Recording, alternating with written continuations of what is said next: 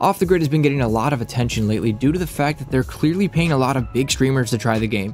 They even gave Ninja an exclusive bundle which actually looks pretty good, but the game has been met with a lot of skepticism because of its use of the blockchain technology and NFTs. And this has led to some wild conspiracy theories about the game being a crypto rug pull or having a secret crypto miner running in the background. So today we're going to be getting into what's good about the game, what its main problems are, and I'm no crypto expert, but I have run Ethereum miners on my computer as well as a dedicated mining rig, so I'll give my thoughts on the entire crypto situation as well. Right off the bat, the game has amazing intro cinematics that really establish the theme of the game and the universe that it takes place in. Nothing here feels cheap and rushed.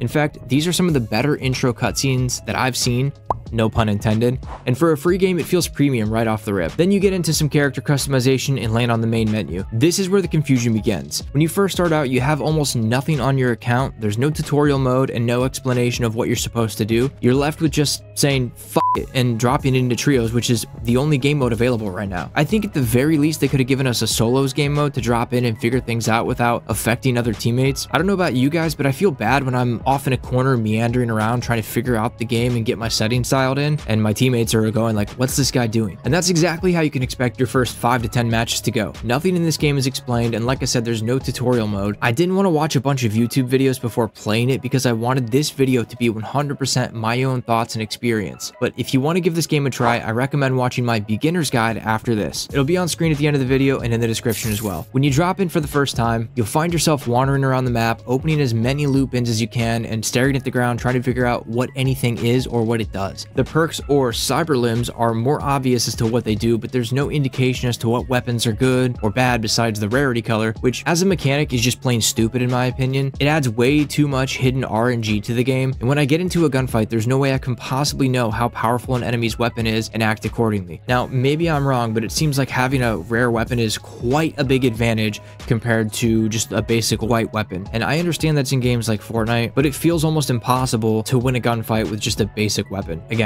I don't know, none of this is explained anywhere in the game. I have no idea if the more rare weapons just have more attachments or if they actually do more damage. You also have the sense that you're not entirely sure what's going on at any given moment. My biggest issue is that there's not a lot of feedback given to the player about what's happening. The damage direction indicator isn't very good or helpful and the audio is okay at best. In my experience, enemy teams will just pop up out of nowhere with no indication and delete you. In every single one of those instances, you have zero chance of fighting back and you need to somehow find a way to escape.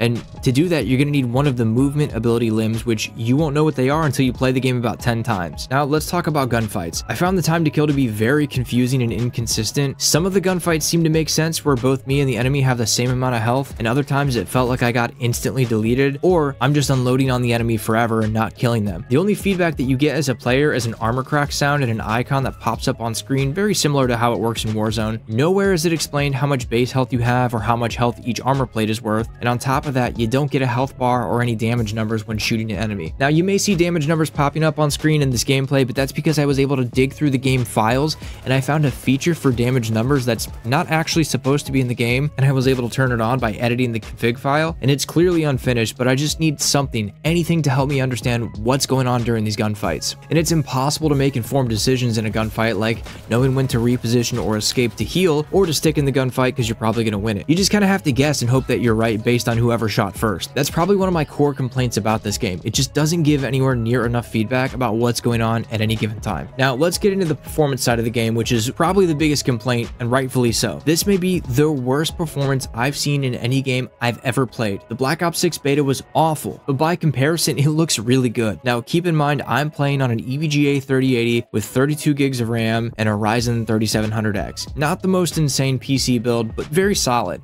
I get upwards of 150 frames per second at 1440p in every single game that I play. Running off the grid on the absolute lowest possible settings, I was only able to barely break 60 frames per second. I was actually able to go into the config files of the game and disable literally all of the lighting and shadow effects, which is why the gameplay looks like a potato. It looks like a mobile game, but that's the only way that I was able to get between 90 and 100 FPS and have the game actually run smooth enough to aim without stuttering. Also, if you can see the frame counter, it's bouncing wildly back and and forth by about 30 frames, which is insanely bad. Everyone assumes that this is due to poor game optimization. For sure, it's part of it, but there's another problem that I haven't seen anyone mention or even talk about. When I was running the game, I had my GPU and CPU monitor up, and I noticed that my GPU barely ever broke above 60 degrees Celsius. Now, I've played unoptimized games before, and usually my PC can still brute force decent frame rates. My GPU fans just go full throttle and the temperature jumps to like 72 or 75 degrees Celsius. So it seems like here in Off the Grid, whatever settings that they have pre-configured that are not available to us, the players, just don't utilize your hardware to the fullest extent. If I had to guess, they have some weird power throttling setting either on purpose or they just don't realize it. And the game looks nice, but it's not that graphically intensive that I can only get 50 FPS. Maybe they're trying to avoid a situation where they overdraw power on graphics cards and stop it from bricking people's devices. I can't say for sure exactly what's going on. I know for sure that this game isn't fully utilizing your hardware, which is interesting because people think that not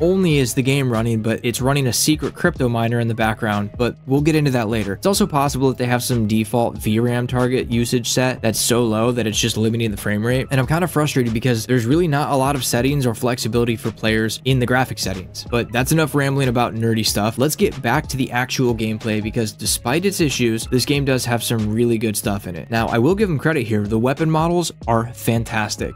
They look something kind of out of a Black Ops 3, Black Ops 4 type of a game, but with a little more detail and polish. And they fit really well within the established universe in the game, and they feel unique. I haven't had enough playtime to really understand all of the weapons, their strengths, weaknesses, or even establish some idea of a meta, so I can't really comment on it from a balance standpoint, but I will say it seems like the snipers and shotguns, surprise, surprise, completely dominate the game. But that just may be due to the fact that other players also haven't figured out what weapons are good, so they kind of default to those strong single fire weapons. The map is awesome. At the time of early access, we only have Teardrop Island where the games take place, but the map really is cool. It reminds me of a blend between the Blackout map from Black Ops 4 and, bear with me, a little bit of Night City from Cyberpunk. Lots of unique areas, and what I like the most is that it doesn't feel like you're ever trapped rotating through different points on the map. There's no chokes that when you rotate through, you know you're probably going to get held out by a team. I also really like the way they've designed the gameplay around the map. The map is huge, and each time that you drop in, you play on a limited or restricted section of the map. And this adds a little bit of variety to the gameplay, and it's something that I wish more games would do. Now, there is a lot of verticality on the map, which I do like, but it leads to massive imbalance in some gunfights. If someone's sitting up on high ground and they have a weapon like a sniper that is a first person aim down sight weapon, then there's almost nothing you can do to fight back due to the nature of third person mechanics. If you have something like a rifle, when you aim down sights with a third person weapon, it really just tightens the hip fire spread and you don't really land very many shots. And when someone is that far away or really high above you, you just can't compete. I think this game would play a lot better if they just made it so every weapon was a first person view when you aim down sights. I think the game would play better overall and it would just definitely help even out that disadvantage you have in those long range or, you know, massive differences between high ground and low ground gunfights. Now, you're still at a disadvantage if someone's on high ground,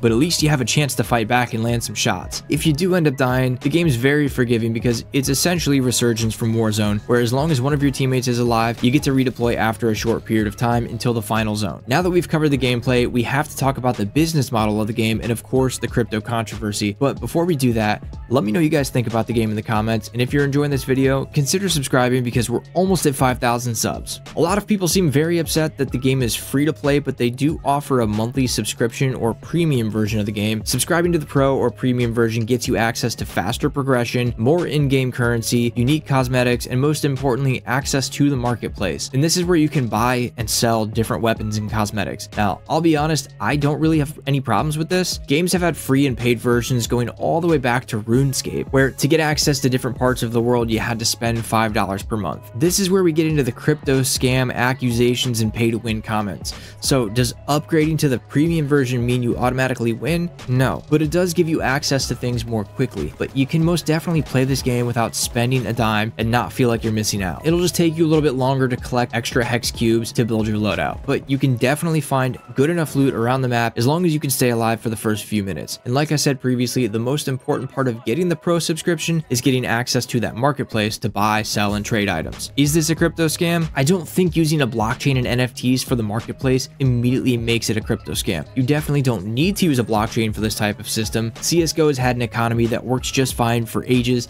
and I don't see anybody complaining about that. I understand that people have been conditioned to fear crypto and NFTs in games, and for good reason. There have been some problems out there, but I don't think this is quite the same because this game isn't marketed as a play to earn game, nor do I see them mention the fact that it's a crypto or blockchain based game very much on their website or in their marketing at all. Let's talk about the other crypto conspiracy I've seen floating around online, and that's the idea that off the grid is just a front to deploy a crypto miner in the background while you play the game. Is that possible? Sure, but right now I don't see any evidence, nor does it make any sense to me. So you're telling me they built this entire game to mine a cryptocurrency that hasn't been named. So are they mining their own crypto? And at that point, would it just be easier to build a regular non-blockchain game to sneak a crypto miner in there under the radar? If their goal was to mine crypto, they would definitely not take the time to build a blockchain to handle the cosmetics, nor would they want to tip people off by including blockchain and NFTs. Everyone knows that consumers are already hyper skeptical of crypto in games, so why would they do that with the intent of sneaking a crypto miner into the background? It just doesn't make any sense in my opinion. Now, as a person who's run Ethereum miners on both my PC and has had a dedicated mining rig, I find it hard to believe that there's a crypto mining program running in the background at the same time as the game and my GPU temps still barely break 60 Celsius. For comparison, just Black Ops 6 alone being poorly optimized ran at 120 FPS and my GPU was around 70 degrees Celsius. So maybe you could argue that they're making making sure they have enough headroom to add in a mining program in the future, but that's just a crazy accusation in my opinion. Now, what they could do is try to hook people into the game, upsell you on the pro membership, on the idea that you can play and sell your items in the marketplace to earn some money. Remember, everyone that's on the marketplace already has the pro version, so it's either going to be completely bloated with useless stuff from everyone trying to make a buck, or it actually functions as intended and allows people to just trade stuff at market prices. I also think building this entire game is just a lot of work to do a quick crypto run rug pull and leave people hanging. You'd be better off just building a random altcoin and marketing it as the next big crypto thing, and then just doing a rug pull, leaving people with empty bags once the crypto market hits another bull run. I could be completely wrong, but right now I just don't see it. But I totally understand why people are on guard when they hear NFT. This game does have a lot of potential and is very clearly in early access. If they can polish the game up, I really think this does have a chance to become another Apex Legends type of game. If you want to jump into off the grid and you're not sure where to start, check out my beginner's guide 10 quick tips to get you started, or another one of my videos YouTube thinks you'll like.